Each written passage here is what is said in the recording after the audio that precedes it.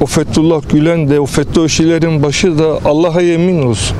Bu millete hesap verecekler. Sakarya'nın tanınan isimlerinden Sedat Peker, 2016 yılında Mardin'in Derik ilçesinde şehit düşen Muhammed Fatih Safi Türk'ün ailesinin ziyaretinin ardından mezarlığa gitti. Şehit kaymakam için dualar edildi.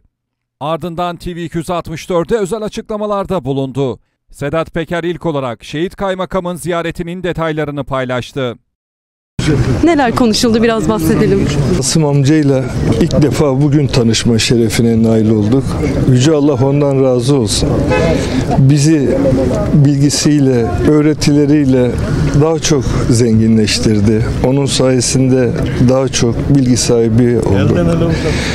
Tabii kendisi çok büyük bir imtihan yaşadı. Fatih Muhammed kardeşimiz kaymakam genç yaşındayken ülkemiz için şehit oldu. TV 264'e özel verdiği röportajda Şehit Asubay Ömer Halis Demir'in kardeşi Soner Halis Demir, Sedat Peker'e Fethullahçı terör örgütüyle alakalı da soru sordu. Bu ülkede bütün herkes onlarla barışsa bile bir gün insanların yüreğinde merhamet belirse bir sihir olsa, bir büyü olsa herkes dese ki ya biz bunları affedelim. Yüce Allah'a yemin olsun. Ben, benim neslim onlarla asla barışmayacak, onlarla asla affetmeyeceğiz. Bu dünya var olduğu sürece onlarla kan davamız var bizim kardeşim. Çok güvendikleri her anlamda kendisine haşa peygamber özellikleri yükledikleri o Fethullah Gülen de o FETÖ'şilerin başı da Allah'a yemin olsun. Bu millete hesap verecekler. Daha önce de söyledim. Onlar bu milleti tanımıyorlar.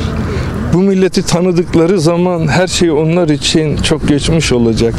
Devamlı bugün de bakıyorum sosyal medyada o Adem Yavuz denen yurt dışındaki kaçak her gün bakıyorum sırayla birisi benimle ilgili bazen üçü beşi bazen binlerce on binlerce tweet paylaşıyorlar. Bunu söylemek isterim ki o tweetlerin hiçbiri benim ruhumu acıtmıyor. Benim moralimi bozmuyor. Sadece onlara yapacağım şeylerin şiddetini kafamdaki planların daha da çoğaltıyor. Allah'ın izniyle de FETÖ ile ilgili ne yapacaksınız sorusuna ise devlet sağdan çekildiğinde biz gireceğiz dedi. Biz bazen şey diyorlar ne zaman yapacaksın?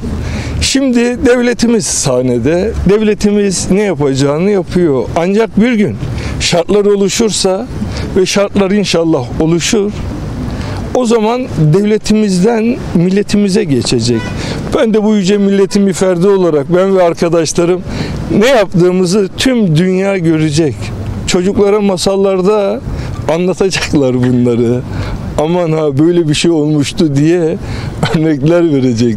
Sedat Peker'in Sakaryalılara da mesajları vardı. Yani Sakaryalılara buradan bir şey söylemek ister misiniz TV 264 aracılığıyla? Sakaryalılara çok şey söylemek isteriz tabi. Allah Yine söylediğim gibi benim aile büyüklerim, annem, babam, dedelerim yani bütün soyum bu topraklarda yatıyor. Bu topraklarda bir sıkıntı olduğu zaman, bir problem olduğu zaman veya başka bir şey olduğu zaman bizim yüreğimiz daha bir ayrı yanmaktadır.